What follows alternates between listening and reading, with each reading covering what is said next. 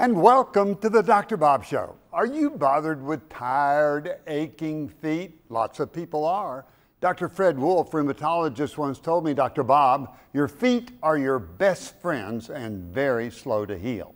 We'll be spending most of this show talking about different foot problems bunions, calluses, corns, plantar fasciitis, diabetic foot care, flat feet, high arch, lots and lots of questions. My guest is Dr. Kendale Ritchey. Dr. Ritchey is a board certified podiatrist and deals with foot problems every single day. He'll be answering our questions. Hello, I'm Dr. Robert Overholt. I'll be your host for the next 30 minutes on the Dr. Bob Show. Later on, we'll be talking about signs and symptoms of anemia and cardiac ablation. Why are so many people needing ablation? What is it? What does the cardiologist do? And how much help do we get? Lots of information for you. You'll want to stay tuned.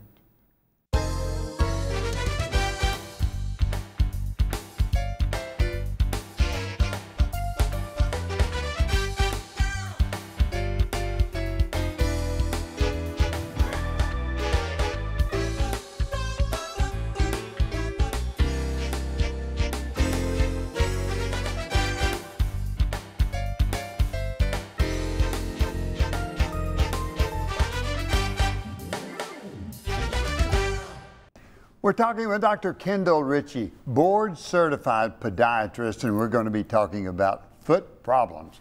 Kendall, welcome to the Dr. Bob Show. Thank you, Dr. Bob. I'm honored to be here. Now, let's talk about bunions right off. Well, okay. What is a bunion? Well, technically, the word bunion means swelling or bump of bone. But that's a bit of a misnomer because it's a lot more than just a bump of bone. This is a structural change that happens in the front of your foot where the bones will start to separate. It'll create uh, a situation where your great toe wants to lean up onto your second toe wow. and then a bone prominence forms right over at the area at the base of the big toe. So you have an overgrowth of bone at the base of the big toe? Correct. And correct. the big toe begins to wiggle over it toward the side. It wants to lean right towards the second toe. That's so correct. is that painful? Well, um, they can be extremely painful to the point where you can't find shoes that you can wear. Even if you go out and try to buy new shoes, they just don't make them wide enough. Um, or sometimes it's not painful at all. But the majority of the time, because it is a progressive problem, it's going to get worse and worse and worse. It's eventually going to rub in the shoe, and it's going to cause a lot of redness and swelling directly over the bump. So when somebody gets a bunion and their shoes, they can't find shoes that they can wear well, was it bad shoes that brought on the bunions? Well, that's a good question. I, I get asked that almost every single day. A women will come in and say, oh, look what I've done to myself. I wore those wrong shoes. Uh, the truth of the matter is probably 90 to 95% of bunions are heredity. Just like you inherit dangling earlobes and high cheekbones, you inherit a structure of the foot which um, leads to the mechanical faults, which will cause the bunion. Um, there is an influence.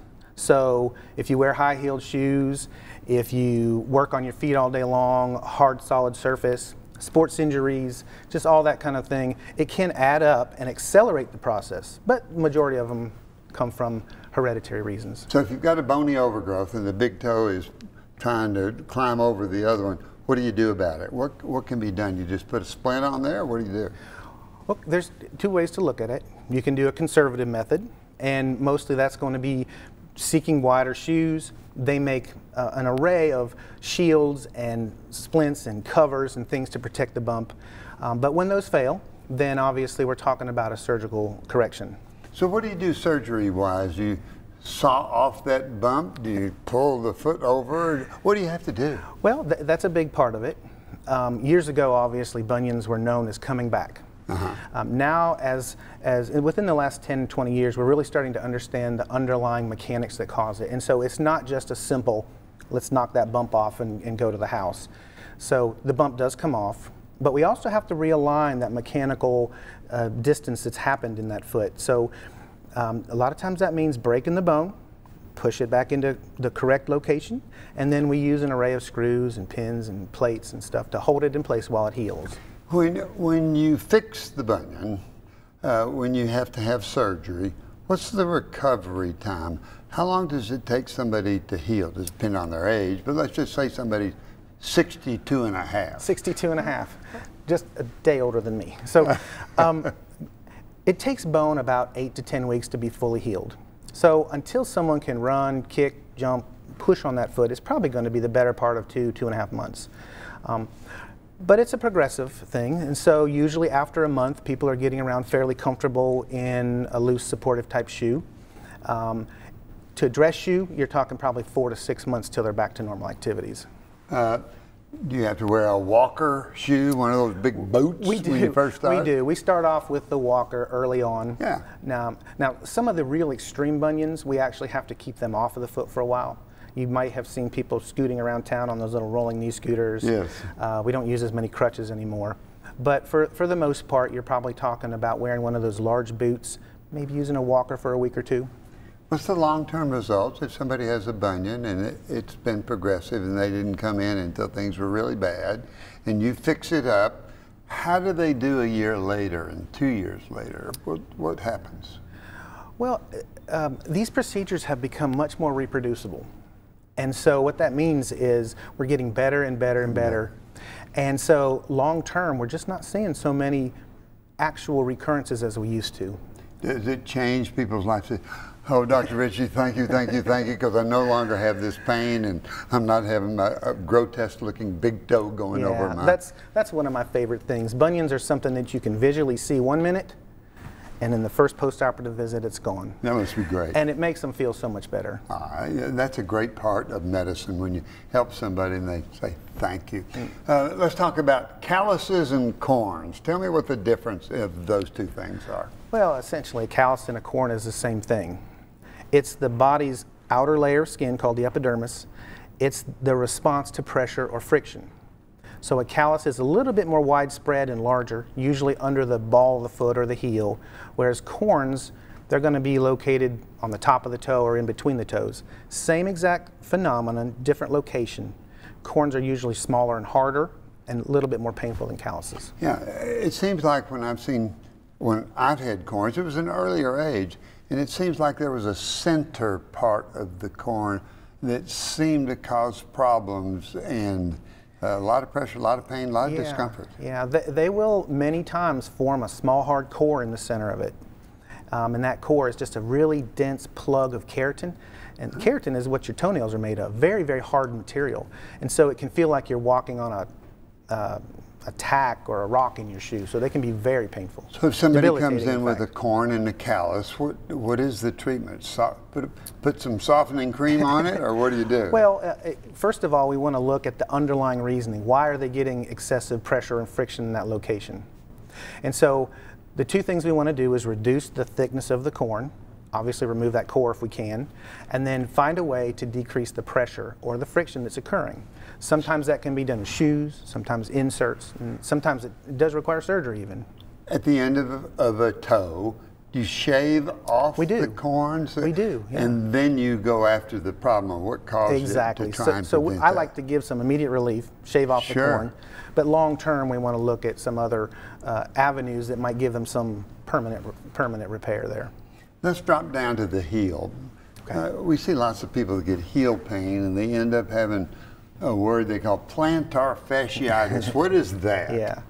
So the word plantar fascia is just our medical terminology for this long, strong ligament on the bottom of the foot. It attaches to the heel bone and it courses all the way under the arch out to the ball of the foot. And so that ligament helps to protect from a penetrating injury that goes up into the arch yeah. of the foot. Um, but more importantly, it acts as a tether. It binds the heel and the toes together and so when you stand and gravity wants to collapse your arch, that plantar fascia is going to resist. Well, plantar, so it serves a good function. It, it, plantar fascia is a wonderful uh, structure that we need to have. Um, when, you, when you get too much tension or stretch or pressure on the plantar fascia, it wants to become inflamed right where it attaches to the heel bone. So it makes you feel like you've got a painful heel, but the problem is the plantar fascia where it attaches. Exactly. So. What do you do about that? Well, we, there's two parts to the treatment. First thing we want to do is get rid of the inflammation, and the second thing we want to do is um, decrease the underlying problem that we have in the first place. So To get rid of the inflammation, we're talking about anti-inflammatories. Um, that can be cortisone injections, cortisone pills, or non-steroidal anti-inflammatories. Icing, stretching, exercises, physical therapy type of avenues, and those what, are. What does ice do? Well, ice is just a strong anti-inflammatory. Yeah. Cool that tissue down, and and it sort of numbs the tissue in a way. Yeah, absolutely. It's the very reason we use ice after surgery to decrease that inflammation. And of course, inflammation makes you heal slower. So, so. when people wake up in the morning and they got plantar fasciitis, that first oh, it hurts oh, so. Yeah. Hurts so. Yeah. Can they massage their foot? Do they wear something at nighttime that helps stretch that plantar Absolutely, fascia? absolutely you can. And so people who have plantar fasciitis, that's the first thing I tell them. Before you get out of bed in the morning, I want you to stretch that arch back. Take a towel or a belt, loop it around the ball of the foot and pull back. Stretch it out before your first step. Uh, and if they do that, it feels that first step feels so much better. A lot better. How long does it take for plantar fascia to get better? And we've taken care of pain and we've stretched it. Do we have to do anything else? Well, the, the second part of the treatment, obviously, is to try to support the underlying reason. So if you're getting too much stretch on the plantar fascia, how do you take care of that? We can do that with shoes with better arch support.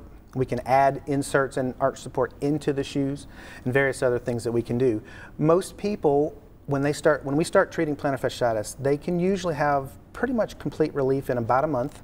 Ah. Um, now there are some people who resist, and, to, and that can yeah. go on to be much more extensive treatment. So in general, you can tell somebody we're going to get you better. Oh, absolutely. But you're going to have to follow the instructions. I say, I say I, you got about a 99.8% chance we're going to get you better without anything other than conservative treatment. Yeah, and that must make the patient really feel good. Well, they come in and they're, they're very anxious about it because it's a very painful condition. Uh, we've got an epidemic in the United States of obesity, and that brings on type 2 diabetes. And with type 2 diabetes, we get lots of foot problems. Is the diabetic foot a challenge sometimes? Oh, goodness. And uh, that's what we're going to be talking about. Yeah, it presents a challenge, but that's why we have podiatrists to help us handle those challenges and keep us from losing our feet. You'll want to stay tuned. We're talking with Dr. Kendale Ritchey, and we've been talking about bunions and calluses and corns and plantar fasciitis. The nice thing about it, a very painful and very difficult problem suddenly has a cure if you take the time to get it taken care of. Kendale, let's talk about a diabetic foot. One of the things that we warn people when they get diabetes is be very careful with your feet because if you get a problem, it may end up with a very bad story, amputation. So what do you look for in a diabetic foot and what do you do for people? Okay, that's, that's a good question. so there are three systems when you have diabetes in the lower extremities that will affect. The first is the circulation, causes plaque to build up in the arteries. The second is the nervous system. We're talking about neuropathy, and the, the blood sugar sets off a cascade of events that damages the coating on the nerves. And the third is the immune system. Um, the, the high blood sugar somehow shuts down the immune system's ability to fight infection. And so when you take person that doesn't have good circulation, has loss of feeling, and all of a sudden doesn't have a good immune system down there, that's a recipe for disaster. Correct. So what do you see that the people come in with? They uh, hurt their toes and or yeah. they cut their feet and they don't really take care of it. They don't know it because it doesn't seem to bother them. The, the majority of time what we're going to see here are probably um, friction areas like corns uh -huh. we uh-huh. talked about earlier that will turn into something larger the friction continues, and now all of a sudden that corn turns into a small ulcer. The, of course, the word ulcer means there's a hole in something, and so there's a hole in your skin. Um, those ulcers in turn can get infected. The infection can run deep, and next thing you know, you've got a, a bad situation. Yeah, and you don't have a good blood supply, and you've got right. Uh, Nothing so to bring the antibiotics down there, yeah, you're and not enough to heal. Correct. So if somebody has an ulcer in their foot, is there a common location, and what do you do for an ulcer in the foot? Yeah, I would say that by far the most common locations for ulcers are on the toes and then under the ball of the foot, high, high traffic areas. So two things have to happen. Obviously, we have to have good wound care. And secondly, we have to find a way to offload that particular location because the pressure is the culprit here. So wound care. Wound care. So you've got a, an open hole there do you have to debride? Do you have to cover it? Do you have to put goop on it? All what? of that, all of that, yes. So um, Debridement means removing the devitalized tissue, the tissue that doesn't have a, an ability to heal, and getting down to the good, healthy tissue. That's what debridement means. Then we can do that with nippers and scalpels and stuff like that. um, the gouges that we put in, um, what we're trying to do there is decrease the bacteria that are in there so yeah. it doesn't get infected, and then stimulate some underlying what we call granulation tissue. Granulation is the is the good, healthy tissue. Yeah, you try and get healthy Correct. tissue to come in mm -hmm. and mm-hmm. take take back over. Yeah, do people, do you have them elevate their feet or do you have them walk or limit their walking? Absolutely. So we use a host of different ways to try to get them off that foot. There might be special boots that we've made. It might just be a simple orthotic, but it might be one of those rolling knee scooters or crutches or a wheelchair. They can be that bad. So can you, how frequent, I would imagine you have to see the patient back frequently because yes. you have to know if it's going downhill right. or if it's improving. Uh, yeah, these patients, we get to be really close friends. We, we see each other every week, sometimes get to know each other's families.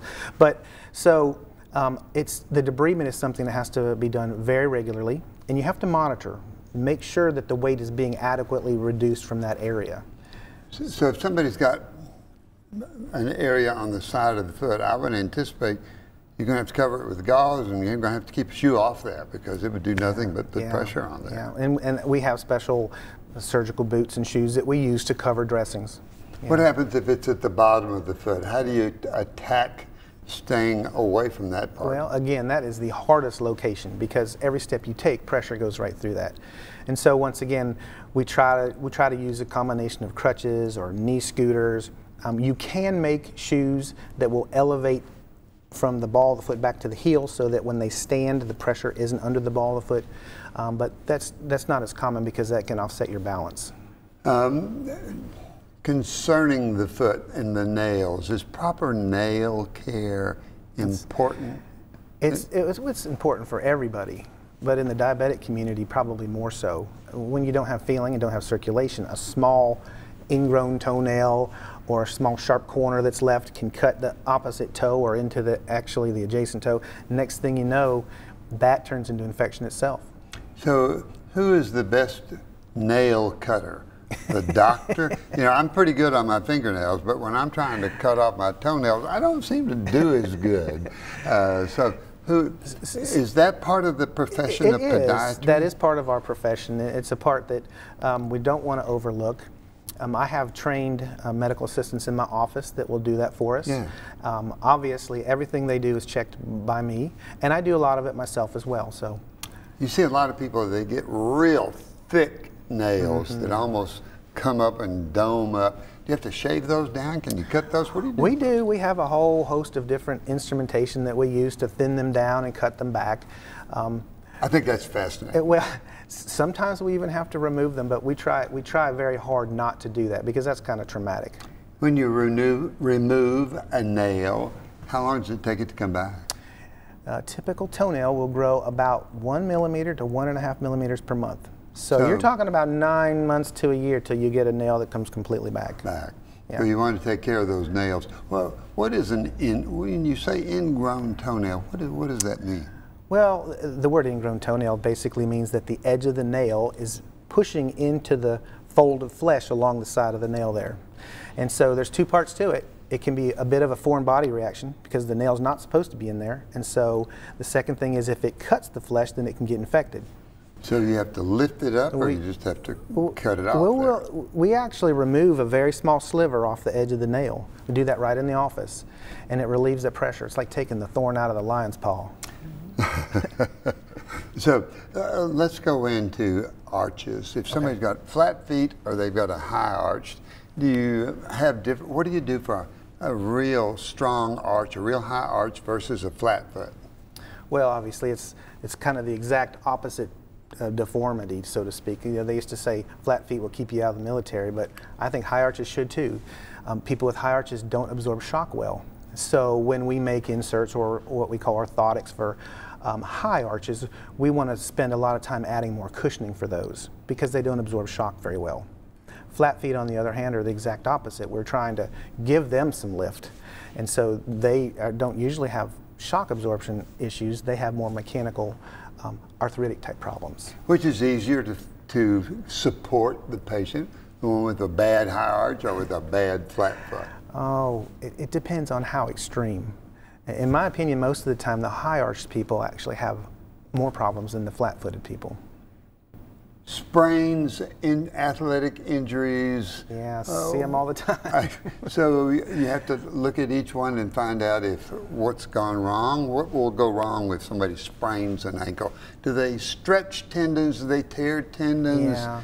Uh, what do you do? Well, there's there's obviously various levels of a sprain. You can have just a stretched ligament, and most of the time those will heal nicely with rest, ice, and elevation. Um, you can have partially torn ligaments. Uh, when that happens, that can be more extensive, much more bruising, much more swelling. It takes a lot longer time to heal. And then you can have complete ruptures of those ligaments, and that becomes very unstable. In that case, you might end up with extensive rehabilitation or even surgery for repair for those. So, what I'm hearing is a podiatrist has to know a huge amount of information on the millions of things that can go wrong with a foot. What is the education of a podiatrist? Well, basically, we have a four year medical degree. Um, at the end of four years, almost all podiatrists go for postgraduate training, some type of a residency. Um, I think the American College of Foot and Ankle Surgeries uh, at this point is requiring three years of uh, postdoctorate training. Wow. So. Wow. Um, you're a great teacher, Kendale oh, Ritchey, and I really have enjoyed having you on the Dr. Bob Show. I didn't really realize till I started looking at how many different problems that you have to be educated in and know how to help patients. Must be a great feeling. Oh, thank you. I, I, I enjoy every day. Hope, so. hope you'll come back again. I would love to. Thank you very much. Great show. A lot of, lot of information. Now you're going to want to stay tuned. We'll talk about signs and symptoms of anemia, and we'll shortly touch on heart ablation. I want to thank Dr. Kendale Ritchey. Wonderful discussions on how to treat problems with the foot. Now, questions from you, the viewer, that I think will be important to your health. Dr. Bob. What are some signs and symptoms of anemia? My neighbor says I look pale. Well, paleness is one of the things because anemia is where the red blood cells are deficient. There's not enough red blood cells, and the red blood cells carry oxygen around to the rest of the body to nourish the body. What can cause anemia? Sometimes it's the formation of an abnormal red blood cell that dies off easily. That would be like sickle cell anemia. There's some large red blood cell anemia, pernicious anemia.